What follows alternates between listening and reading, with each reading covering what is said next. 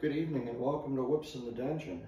Uh, tonight we're going to revisit a topic that we've talked about in the past, and I'm going to call this one rhythm whips. And what do I mean by rhythm whips? Well, any class of whip, regardless of whether it's a flogger, a quirt, cat of nine, dragon tail, or a bullwhip, I'm going to throw bullwhips tonight when you're playing with someone and there's music in the dungeon or music at the, at the event that you're playing at, it's good to connect the rhythm of the music to the rhythm of the whip that you're throwing and connect that energy between you and the person you're playing with and connect that to the environment that's around you and that environment is most easily represented by the rhythm of the music uh, that you're listening to or that you're playing to.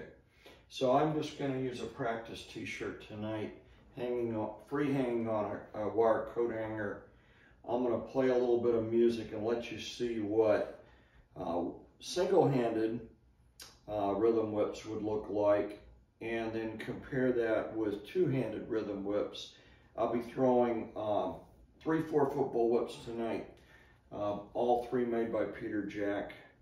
Uh, first we'll throw a four foot single handed and then I'll throw a match set of four foot bull whips. And as always, thanks for watching Whips in the Dungeon.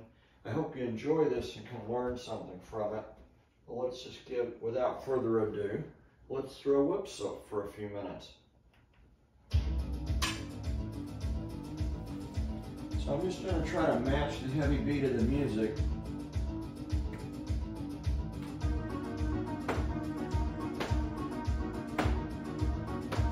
You might find swaying to the music. It's an easy way.